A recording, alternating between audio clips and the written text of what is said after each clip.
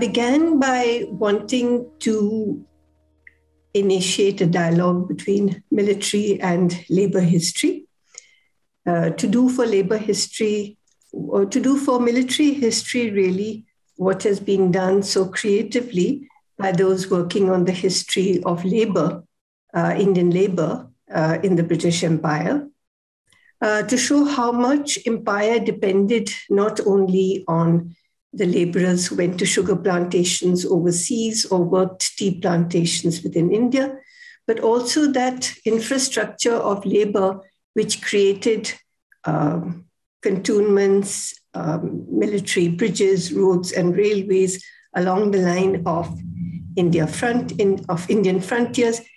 So, in a sense, I was trying to investigate those bland categories, military logistics and supply and transport, and to try and see the kind of human labor, not only of men, but also of women and children, which went into that infrastructure and how it was repurposed for global war in 1914. But apart from recovering that story of a hitherto neglected component of the Indian Army, I also wanted to uh, re, uh, find a way to locate India more integrally in World War I. Instead of seeing it as an external event to which she contributed, I wanted to take a look at the geopolitics of empire as they worked out from what has been called the sub imperial hub of India. And in a sense, it is uh, these uh, sub imperial drives across India's land and sea frontiers which fed into World War I, escalated the conflict, and by the end of war was bringing that conflict right back to India's borders in the form of the Third Afghan War and the Kuki Chin uprising at the other end of India. So these were my aims in the book.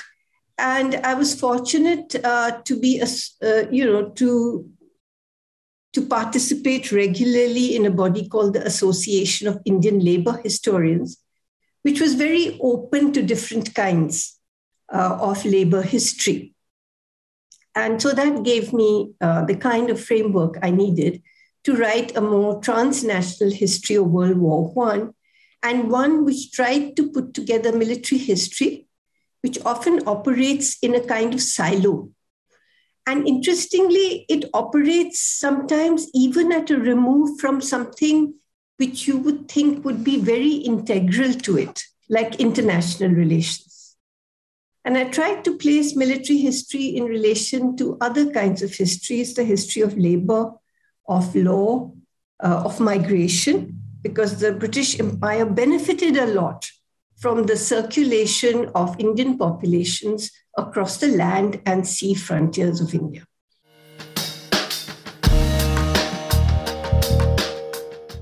I think the pandemic, the war, World War I was like the pandemic in the sense that it suddenly made visible that labor, those labor resources which empire relied upon, both for its commercial viability, prosperity as well as for its military might, it made visible that labor suddenly.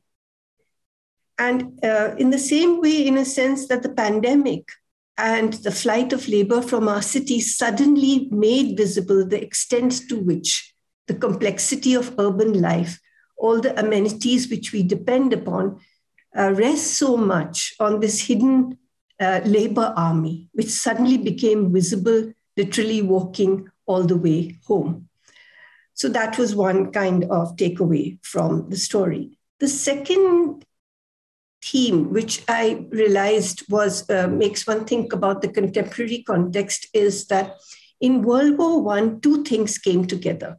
One was that the army expanded massively. The manpower hunger of the war was such that they had to tap new communities including those from very marginal and stigmatized sections of society.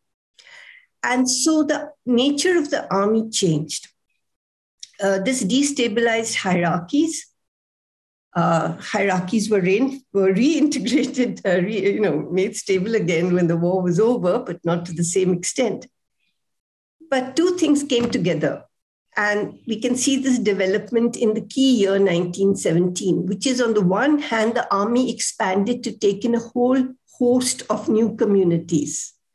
And this then changes our perception of a very Punjab centric view of the impact of World War I. Now, secondly, because of the intensification of war demands upon India, demands for human resources, demands for money, demands for material resources, uh, the colonial regime had to offer to open a dialogue on the paths towards self government. Now, this had an electrifying effect on, on political life. That is, communities who did not have a voice in the political sphere began to put together associations on platforms to make demands for representation and for officials' help for uh, officially supported schemes of uplift in terms of educational assistance, assistance to get employment, which would enable them to participate in that expanded field of representation. So, what you had was the assertiveness of communities, you heard their voices, and the Indian elites, while demanding democratization on the one hand, were also getting very apprehensive about what the consequences of this democratization of political life were going to be. So I think sometimes people have focused, historians have focused a lot on the limitations of the constitutional reforms, which were given in 1919. But if you look at the kind of petitions which the Secretary of State was getting from Dalits, from tribal communities, from various bodies as he sort of moved across India negotiating the terms of the new political arrangements, we really get a sense of political life opening out. And if there is one essay which gives us a sense of this moment, it is an essay by Ambedkar called A Strange Event, where he points out that in the 1890s, the Congress had said that social questions were to be kept apart from political questions. Suddenly, they were willing to accept that social reconstruction had to be a part of political reconstruction. So, in a sense, you have in 1917, and this process continues through the Rowlatt agitation and the non cooperation movement, by which the issue of social advancement of marginalized communities is put on the agenda as part of the path towards uh, self government. And this includes also labor. That is, labor now emerges as a political constituency.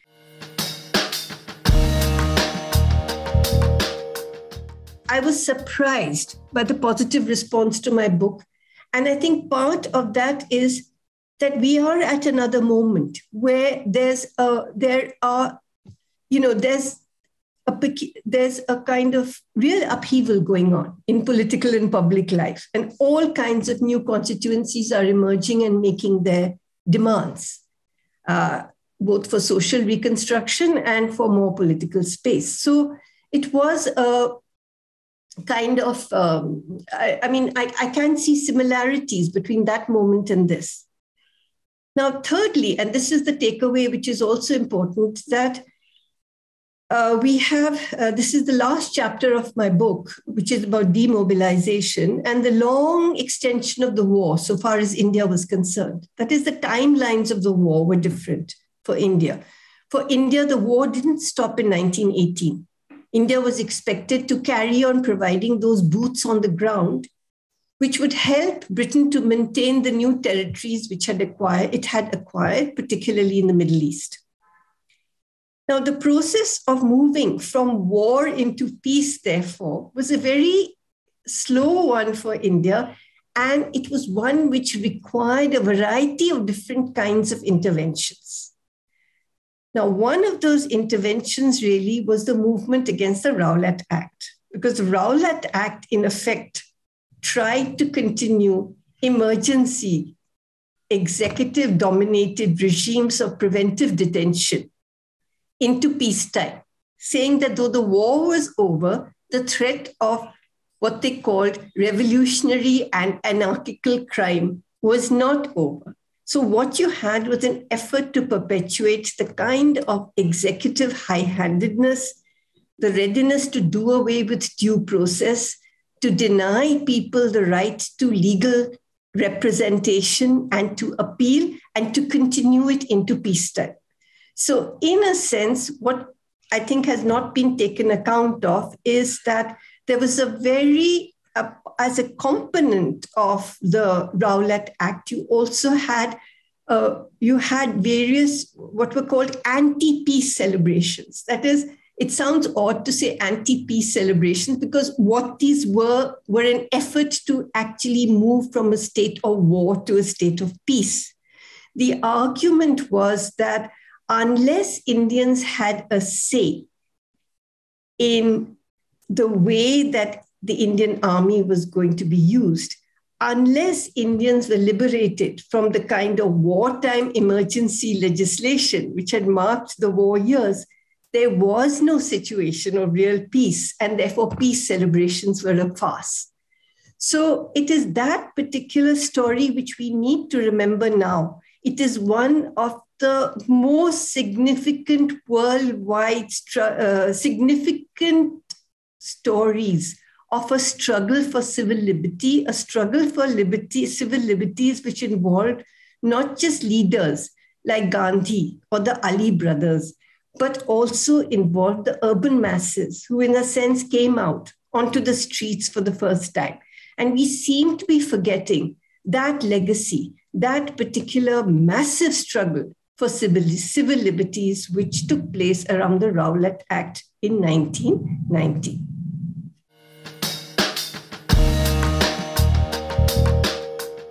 The book is a product, of course, of my, uh, my of what I learned from those new developments in history writing. So that was the most enjoyable part of the experience. So the so let me say one of those uh, experiences was uh, my interaction with students and colleagues from Northeast India, which made me aware of the kind of work they were doing to ensure that their histories did not remain peripheral to the history of modern India. And that drew my attention to the border and the role of the border in understanding uh, Indian history. Um, I think one of the nicest, one of the invitations that I was most honored by was an invitation from a Northeastern Students Collective at the Tata Institute of Social Studies. It's called Mosaic. They asked me to give a talk. And considering that my own work can never plumb the plumb the history of this region because I don't have the cultural capital or the language resources to do more than scratch the surface, I deeply appreciated that, uh, that invitation. Uh, the second moment which I was able to take advantage of was the quest towards writing a history which is focuses on a transnational and comparative history. That is, we have to always look at different spatial frames when we are writing history. And each spatial frame makes its own demands. And we may choose to work within one spatial frame, which can be micro history, it can be regional or interregional or international history, but we always have to be aware of its connection with histories taking place in different spatial frames. Because the experience of India in the war was a lumpy one. Some regions and some communities experienced it more. Others experienced it more indirectly, for example, through cruelly inflationary prices. So you have uh, Amitabh Bachchan's father, the famous poet, who talked about how his mother complained about the clay with which she used to smooth out her kitchen floors. Why had the price of clay gone up behind, behind, uh, due to the war? So her husband then explained that, you know, uh, the, the man who takes his donkey to the river to dig out the clay the fuel, the fodder for his donkey costs more, his food costs more, so he's going to sell you the clay at a higher price. So that's why the clay which is coming to your kitchen, the price of the clay has gone up during the war. So this is just to talk about the kind of very indirect ways in which um, the experience of the war came home to women. And what we must also remember is that because of the uneven impact of the war, we can't just talk about the contribution of women to the war, though that contribution was very real. That is, you could not have taken away, for example, so many men from Haryana or from Punjab unless you had a female and child workforce which stepped in to fill in the gap, right? And it was the women on tea plantations in Ceylon. It was women tapping rubber trees in South India. It was women in jute factories and cotton factories who were turning out the material, which was moving across in ships, ships which were loaded by women bearing coal on their heads. And these ships took this material across both to, you know, to Britain or to America, where trade surpluses helped to balance Britain's trade deficit. So if we go into the material resources that India provided, we could probably write a very rich history of the way in which female and child labor contributed to the war.